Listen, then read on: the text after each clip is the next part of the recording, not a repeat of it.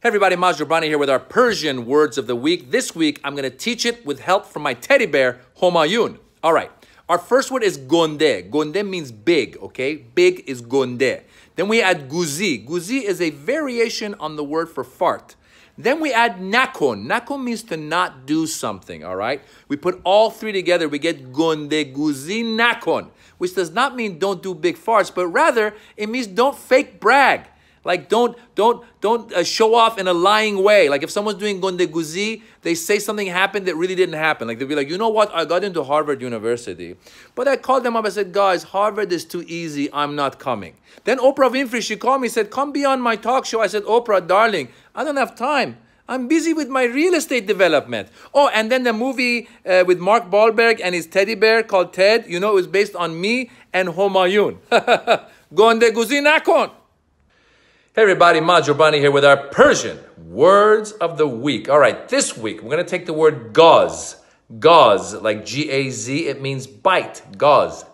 Okay? Then we're going to add the word an. An means poop. An means poop. Then we're going to add bor. Bor is short is the is uh, for boridan, which means to cut. Bor to cut, right? So you take gauze, you add an, you add bor, you get gazambor. And gazambor does not mean to take a bite from some poop and then cut it, but rather it means pliers. Yeah, pliers. I have no idea why. I don't know how this reminds someone of taking a bite out of poop and cutting it. But gazambor. Now go fix something. Hey everybody, Maz Jobrani Persian word of the week. This week we're going to take tan. Tan means body, okay? Then when we say tanet, it means your body.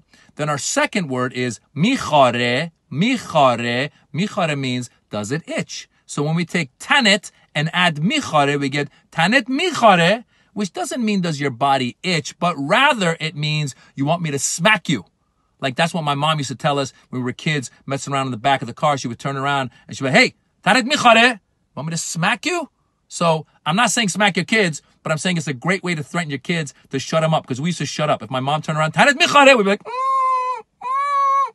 so that's a great way to get people to shut up. Or if your husband is bothering you and, and like poking at you, go, hey, Tanet michare. Or if someone says something stupid to you on social media, Tanet michare. Hmm?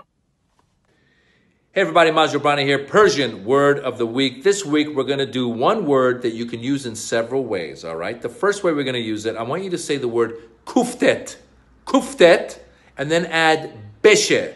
Kuftet beshe is when, for example, someone is stuffing their face. You go kuftet beshe, like uh, stop eating so much. When someone's gluttonous, kuftet beshe, right? Someone uh, keeps uh, making more and more money and, and showing off with it, kuftet beshe. That's number one. The second way we can use kuft is kufte. Kufte is a Persian meatball. It's delicious. Mmm, kufte. Okay? Third way we're going to use kuft is to tell someone to shut up. When someone is saying something stupid to you on social media, you go kuft.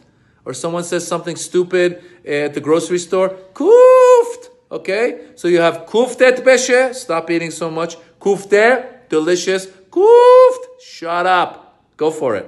Hey everybody, Maz Jobrani here with our Persian words of the week. This week, our first word is shikam. Shikam. Shikam. Shikam means stomach. Okay? Second word is mu. Mu means hair, like what the cow does. Mu, hair. I don't have any. Now you take shikam and you add it to mu, you get shikamu. Shikamu does not mean hairy stomach, but rather it's someone who eats a lot. Like, you know, the guy who's sitting at the buffet just picking and eating um, um, um, and keeps coming back? Shikamu. You see him next time going to the buffet for the 10th time? Shikamu. Shikamu. Now, here's the twist the word for uncle in Persian is amu. Okay? So if you have an uncle who's eating a lot at the house party, at the family party, he's amu shikamu. Huh? Amu shikamu. Go for it. You just learned four words. Amu shikamu. Bye. Hey everybody, Maz Jobrani here. Persian words of the week. This week, we're going to start with the word be. Be in Persian is a pronoun for without, means without. Then we're going to add kar. Kar means work.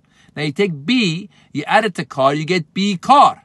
Be kar means without work, but it also means someone has got nothing better to do. So like you're driving along uh, during the workday and you look out and there's a bunch of people playing golf and they should be at work, you go, those guys are be kar. Or, or if you want to say it to your friend, you would say cuddy.